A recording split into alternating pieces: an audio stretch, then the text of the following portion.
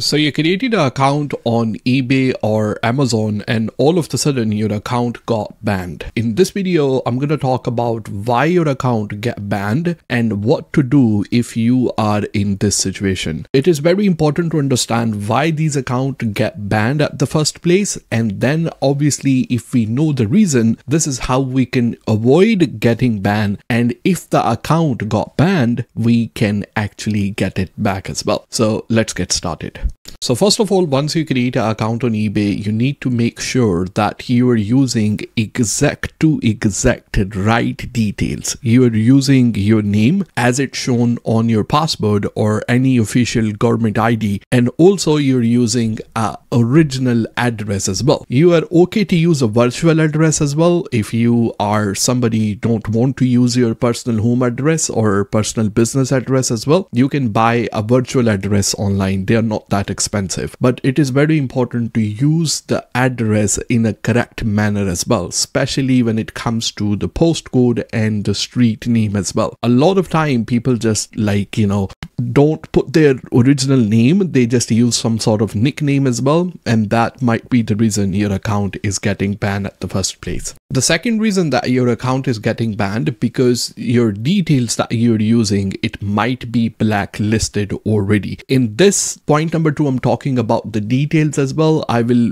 get more technical in a point number three. So when I say your details, in the past, you might have created an account on eBay or Amazon. And if you are using the same details to create an account again, you might be blacklisted already and straight away your eBay account will get banned or Amazon account will get banned as well because you are already blacklisted from that platform. So in the third one, it gets a little bit more technical because the computer or mobile device that you are using or your internet connection, your IP address might also be blacklisted. So you might never have created an account in the past. You are using all the correct details and what happened that your account got banned instantly. But in that scenario, someone who have created an account using that computer or using that mobile device, if it's a new mobile device or it's a new computer or you are like 100% sure nobody have created an account which got banned using these equipment, then in that case scenario, it must be your Wi-Fi connection. Your IP address is already blacklisted. eBay and Amazon, they do track the with the terms of cookies. Like almost every website they, nowadays, they track your cookies and every time like once you go on a website, you have to click on accept cookies as well. So with the cookies, they leave some sort of file inside your system.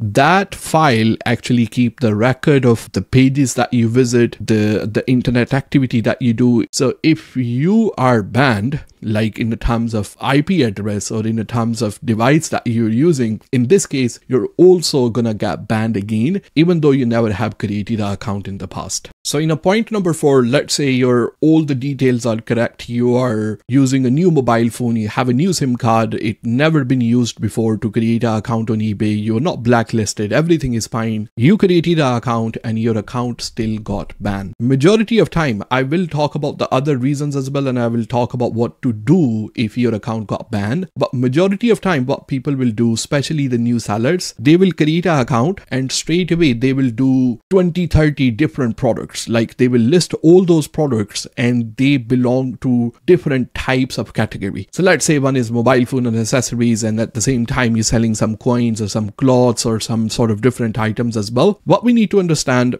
drop shipping on ebay and amazon it's a gray area. ebay and amazon want you to get away with it the reason for that because they make money from sellers even though they will say you know drop shipping blah blah blah all different policies as well but what we need to realize, eBay and Amazon make money when you sell something on Amazon or eBay. They deduct the fee from that transaction. They don't make money from a buyer, but they want you to provide a good experience to your buyers as well. If you're a new seller, you don't have an experience, you're listing all different types of what they suspect that you might not be able to provide a good experience. Might be customer get the order late, all that kind of stuff as well. So what I want to do is once you create a new account, what I suggest use that account first to buy something. Like once you create an account on eBay and Amazon, you can buy something as a buyer. So the seller where you're buying from, they will leave you a feedback. In this way, you will get into little bit like a good side, like in a good books of eBay. And do this, let at least get like a five feedback, buy some cheap item or buy something that you need, and then start listing slowly. So maybe just list three, four items, five items first, get some sales, get some feedback. When the customer will leave you feedback, then you can obviously increase the listing slowly.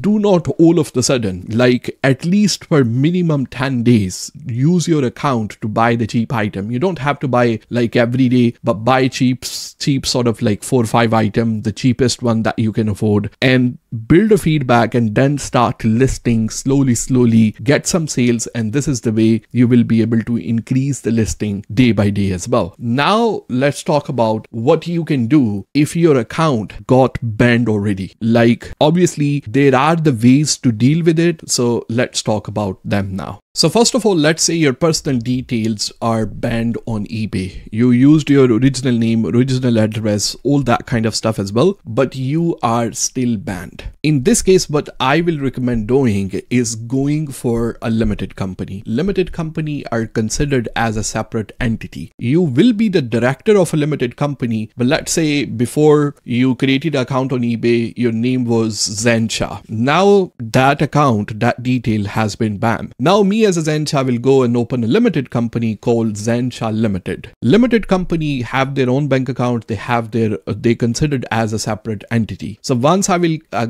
create an account by using a limited company detail, this will be treated as a new profile. So 9 out of 10 time, if your details are banned, I suggest going through a limited company route. The second thing, if your physical address, let's say your home address is also involved in the ban as well, consider buying a virtual address.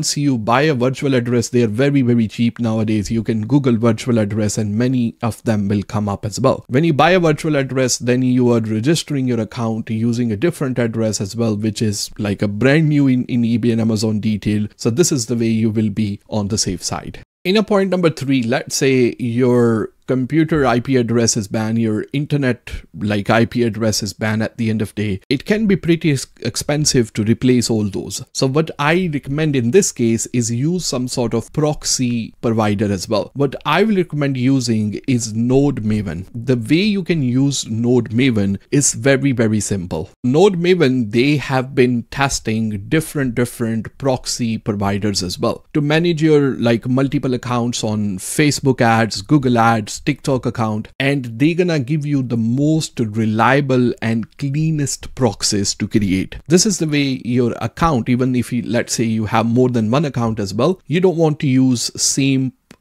same internet connection, same sort of IP for both of them. So this is the way you can actually create the multiple uh, proxies inside the NodeMaven and you will be able to have a different IP for a different account as well, which will be dedicated IP for that account. So inside the NodeMaven, you will be able to see if your account is likely to get banned because these website can also see if you're using some sort of proxy as well. So you can use something like a pixel scan to know how high is the score. The highest is the score, then you are most likely to get banned because the websites will know that you're using some sort of proxies. The reason I don't recommend using like a different types of like VPNs and different like proxies, like the most popular one, because I found out almost 90 to 95% of their proxies are not clean. So you most likely to get banned. That's the reason I recommend using NodeMaven. What I'm gonna do, I'm gonna put the link for them inside the description along with the with the coupon code. If you use that, you will get two gigabytes of free traffic as well. So check the link inside the description. It's very easy to use. It takes like literally five minutes and they have uh, like a, a free access to get started as well. So let's say you're doing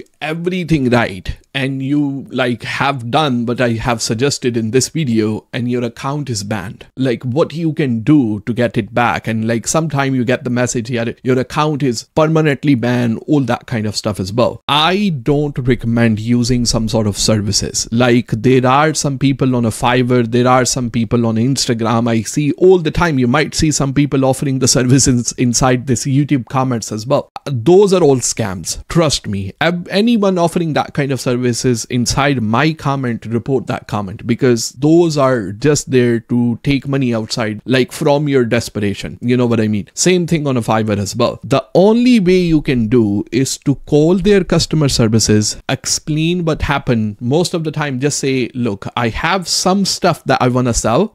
Say, I just want to get rid of the item which I have, uh, like I no longer use those items. I want to sell those items online and I want to just get rid of them. Tell them that you take care of whatever happened, like whatever the reason your account was banned at the first place. This won't happen again. Talk to them on a customer services and I can guarantee you 9 out of 10 times the issue will be sorted and they will give your account back. Like other than calling, you can reach out on something like uh, X or Facebook or that kind of stuff as well. Like all those companies, they have their customer services on the social media platform as well. That might be easier for you to use it. And I have suggested all of this to many people, and I would say the results are 10 out of 10. Check the links inside the description, and I will see you soon.